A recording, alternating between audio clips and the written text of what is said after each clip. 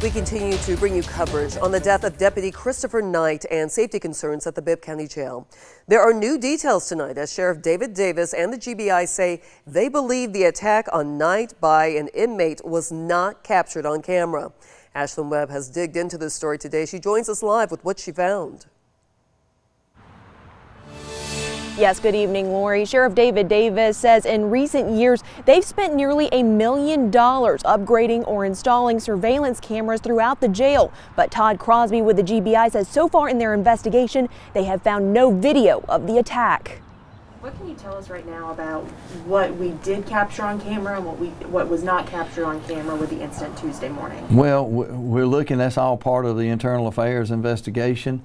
Uh, you know, it looks like so far that the actual event uh, may have not been been captured on camera. GBI Special Agent in Charge Todd Crosby confirmed they have not found video of the stabbing. Crosby says the attack happened in the jail's administrative office area around here.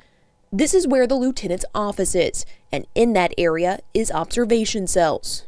There are a couple of cells in that area, but inmates are not typically housed there. They're not, you know, they may be brought in for just a, a minute or two, but there's not a uh, long-term uh, housing unit. But why did the deputies take inmate Albert Booz to that area of the jail? That's that's part of what we're trying to figure out. That's that's part of uh, part of the investigation as to you know, what was what was the decision points that uh, had that inmate being brought to that particular part of the jail.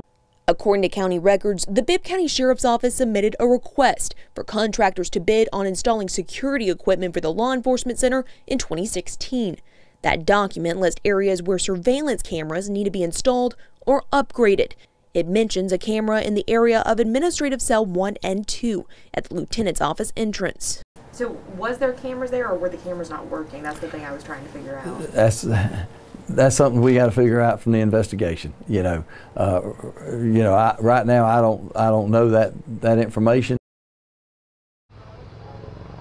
GBI Special Agent in Charge Todd Crosby says this has not hindered their investigation. So far, they have interviewed 15 deputies who either worked with inmate Albert Booz or witnessed the attack. Reporting live in Macon, Ashlyn Webb, 13 WMAZ News.